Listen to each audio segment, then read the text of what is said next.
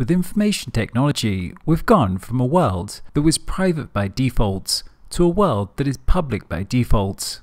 In a pre digital world, our lives were primarily private by default, by the fact that most of our communications were not mediated by tools of mass communications, that our conversations were bounded by the physical location, and thus it took extra resources and effort to publish publicly. Now, it takes extra effort to make things private.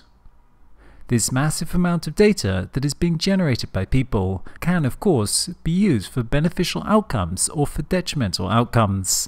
This social data can be used by researchers to understand society better. It can be used for beneficial security reasons. It can be used to enhance public services.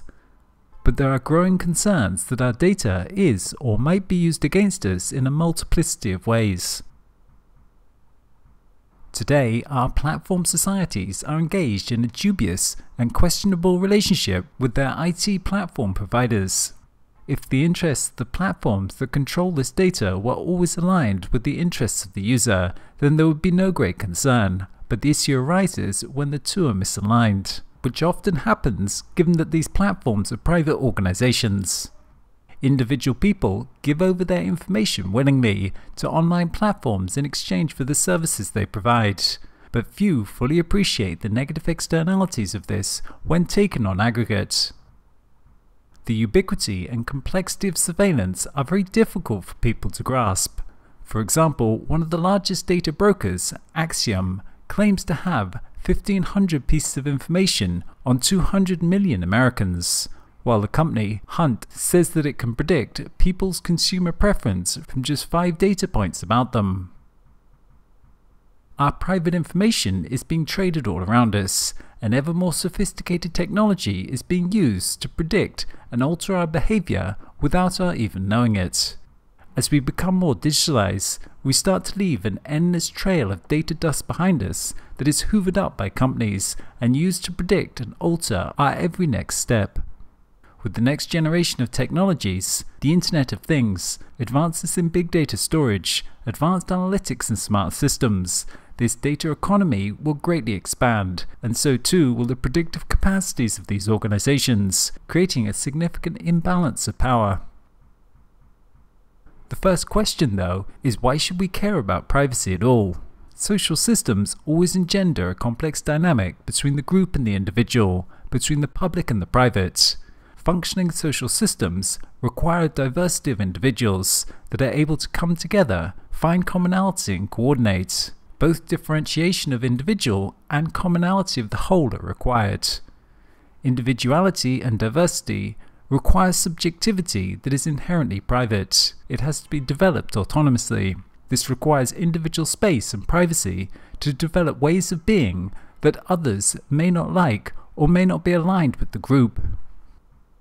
Social dynamics emerge out of the interaction between the private and the public. It's an inherent part of how social systems evolve through individuals developing new solutions in private to overthrow the commonly accepted norms.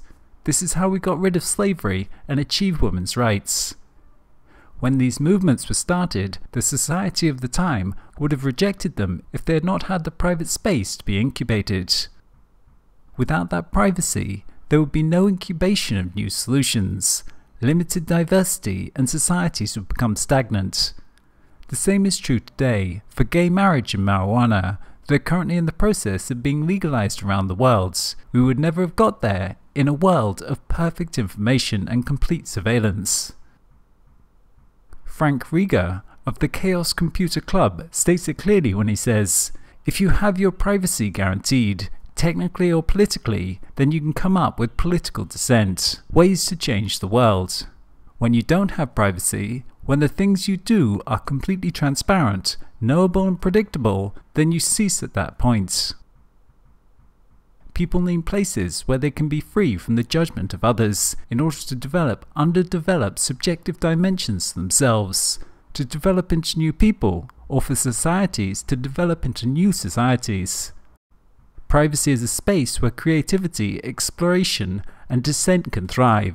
When we do away with privacy, we limit those valuable resources required to sustain a society. A measure of how well a society is doing is not how well it treats its favoured, compliant, and obedient citizens, but how well it treats its dissenters and rebels. Mass surveillance dampens our freedom in all sorts of systemic ways that are largely unnoticed. It removes many behavioural choices without us even really being aware that they've been excluded from our options. There's plenty of research to corroborate the fact that when people are in a public setting where their behaviour is being observed, or they know that they might be watched in some way by others, the behaviour they undertake is greatly more conformist and compliant. Human shame is a very powerful motivator, shaping behaviour towards conformity.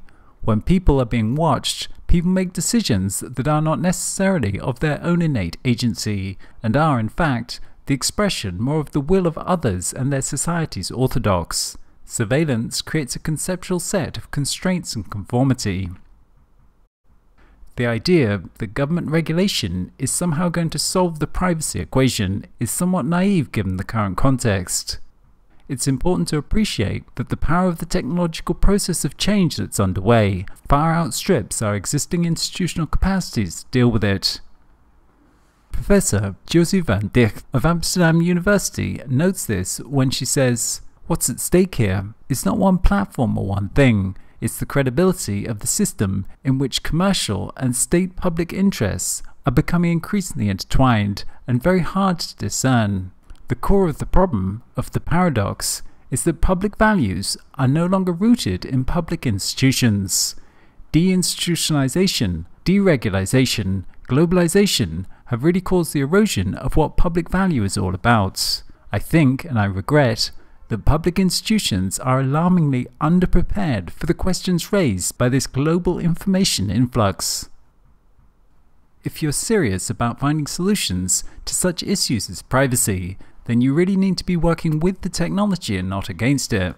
There is clearly a shift that needs to take place in data ownership and privacy for the platform economy to arrive at a more sustainable model. The current model, where data becomes public, the property of private organizations, and stored in centralized data centers by default, needs to change to one where it becomes the property of the individual and is public to the extent that it needs to be public, thus reducing risk and negative externalities. The blockchain can, and probably will, play a central role in this. The next round of internet applications built on the blockchain can enable the creation of distributed social platforms without centralized management, where data is secure and owned by the user, with it then being up to them as to when and how they share that data. The blockchain actually gives us the technological means to build platforms that would take us to a much more sustainable data future the algorithmic regulation in the form that is currently emerging in contemporary modern democracies seems to be providing a one-way mirror that allows institutions to look down to survey those below, but those below have no real prospect of peering into, let alone understanding and challenging these algorithmic black boxes that increasingly regulate our lives. But it doesn't necessarily have to be like this. As Kevin Kelly of Wired Magazine says, our central choice now is whether this surveillance is a secret, one-way panopticon, or a mutual, transparent kind of coveillance that involves watching the watcher.